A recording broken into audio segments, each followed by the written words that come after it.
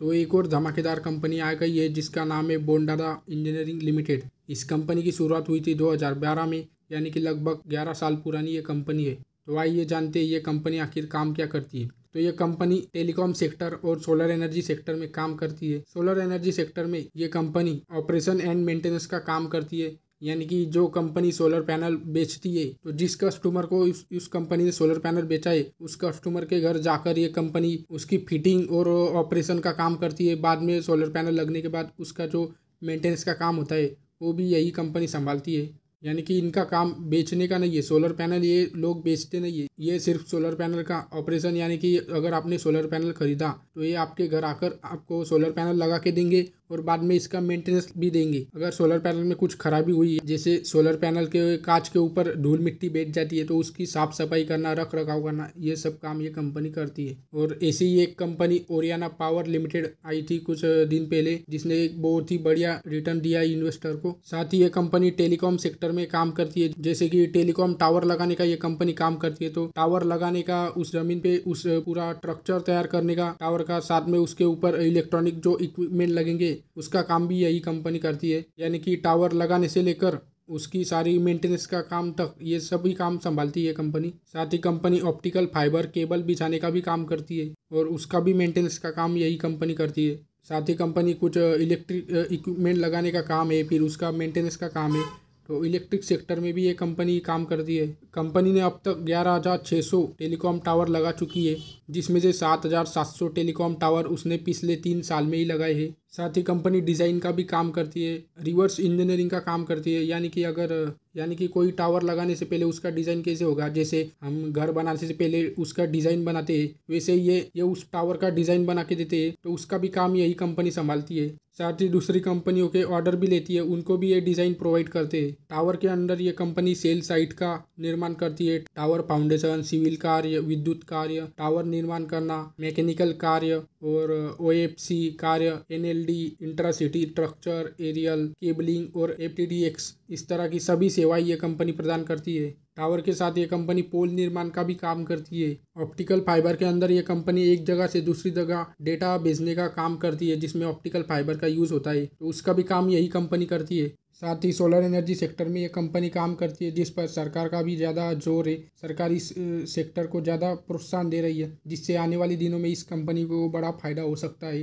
साथ ही company building material भी सप्लाई करती है एसीसी एंड यूपीवीसी जिसमें विंडोज़ आते हैं डोर्स आते हैं यानी कंस्ट्रक्शन सेक्टर में भी इस कंपनी ने अपना बिज़नेस फैलाया हुआ है। ये भी इस कंपनी के लिए एक प्लस पॉइंट हो जाता है। टेलीकॉम सेक्टर में बढ़ती स्मार्टफ़ोन की मांग यूपीआई और गाँव गाँव में प्रधानमंत्री ग्रामीण डिजिटल साक्षरता योजना, इस तरह की योजनाओं की वजह से इस कंपनी को आने वाले दिनों में बहुत फ़ायदा होगा। साथ ही इस वक्त भी इस कंपनी को बहुत ज़्यादा फ़ायदा हो रहा है। क्योंकि ये कंपनी सीधे टेलीकॉम सेक्टर के टावर लगाने का काम करती है। फ़िलहाल कंपनी के पास 1248 स्थानों के लिए ऑर्डर मिला हुआ है, यानी कि 1248 जगहों पर इनको टावर लगाने का काम मिल चुका है, यानी कि लगभग ग्यारह करोड़ का इनको ऑर्डर अब तक मिल चुका है। कंपनी के अगर कस्टमर की बात करें तो Indus tower, Samsung B S N L Bharti Airtel, Reliance Jio L N T construction, Nokia, Vodafone Idea, Tata, Wipro, Adani group, साथ ही स्टेरलिंग एंड विल्सन। इस तरह की बड़ी बड़ी कंपनियाँ इनकी कस्टमर है और भी बहुत सारी कंपनियाँ इनकी कस्टमर है।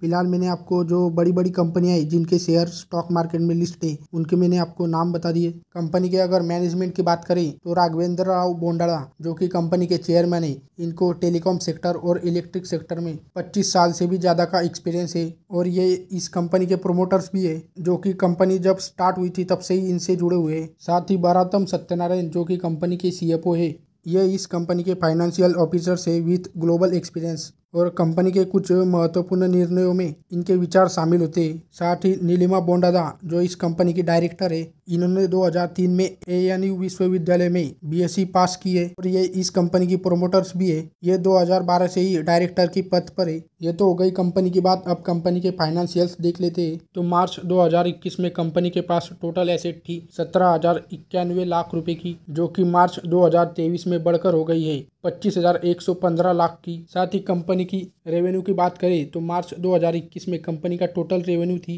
अट्ठाईस हज़ार आठ सौ बत्तीस लाख की, जो कि इस साल मार्च 2023 में बढ़कर हो चुकी है सैंतीस हज़ार पंचानवे लाख रुपए की। अगर रेवेन्यू और एसेट की बात करें तो दोनों में ही बढ़िया ग्रोथ देखने को मिल रही है। कंपनी की प्रॉफिट की अगर बात करें टैक्स देने के बाद कंपनी के पास जो प्रॉफिट बचा है, वो मार्च 2021 में था 920 लाख रुपए का, जो कि इस साल बढ़कर हो चुका है मार्च 2023 में 1825 लाख का। अगर कंपनी के ऊपर उधारी की बात करें, यानी कि बोरिंग्स की बात करें तो मार्च 2021 में कंपनी के ऊपर टोटल बोरिंग्स थी चार हज़ार छह सौ सड़सठ लाख रुपए की, जो कि इस साल बढ़कर ऑलमोस्ट डबल हो चुकी है, आठ हज़ार चार सौ बाईस लाख रुपए की। यानी कंपनी के ऊपर बहुत ही ज़्यादा उधारी है।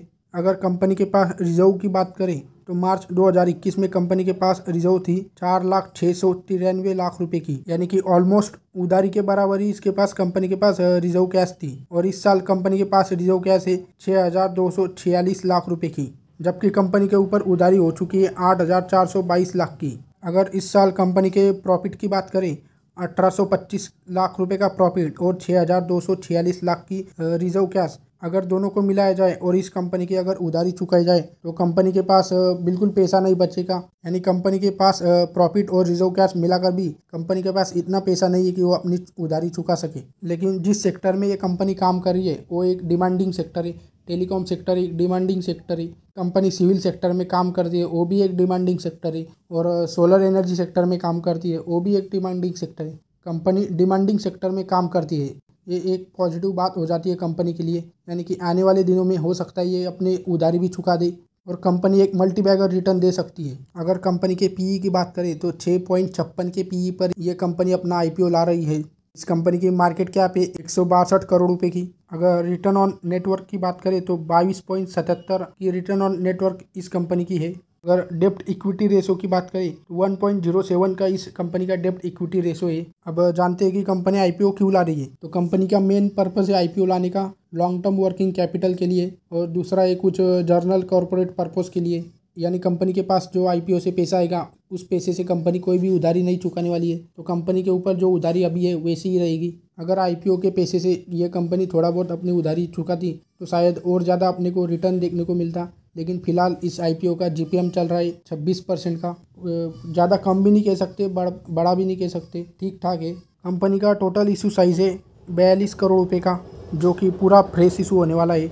और कंपनी की लिस्टिंग होने वाली है बीएससी की एस एसएमई प्लेटफॉर्म पर। शेयर की फेस वैल्यू होगी दस रुपये पर शेयर और शेयर प्राइस होगा सेवेंटी फाइव पर शेयर का। एक लॉट के लिए आपको लगेंगे एक लाख बीस हज़ार रुपये वही अगर आप एच एन आई कैटेगरी में अप्लाई करते तो दो लॉट के लिए आपको लगेंगे दो लाख चालीस हज़ार रुपये जिसमें आपको तीन हज़ार दो सौ शेयर मिलेंगे। एक लॉट में आपको सोलह सौ शेयर मिलेंगे। कंपनी का आईपीओ ओपन होगा अठारह अगस्त को और क्लोज होगा बाईस अगस्त को। अलॉटमेंट की तारीख है पच्चीस अगस्त और अगर आपको अलॉटमेंट नहीं मिला तो अट्ठाईस अगस्त को आपको अपने पैसे खाते में मिल जाएँगे। आईपीओ की लिस्टिंग डेट है तीस अगस्त को। अगर आपको हमारी दी हुई जानकारी पसंद आए तो प्लीज़ वीडियो को लाइक करिए और अगर आप ऐसे ही वीडियो चाहते हैं तो चैनल को सब्सक्राइब कीजिए और नोटिफिकेशन बेल को ऑल में सिलेक्ट करके ज़रूर जाइए। Thank you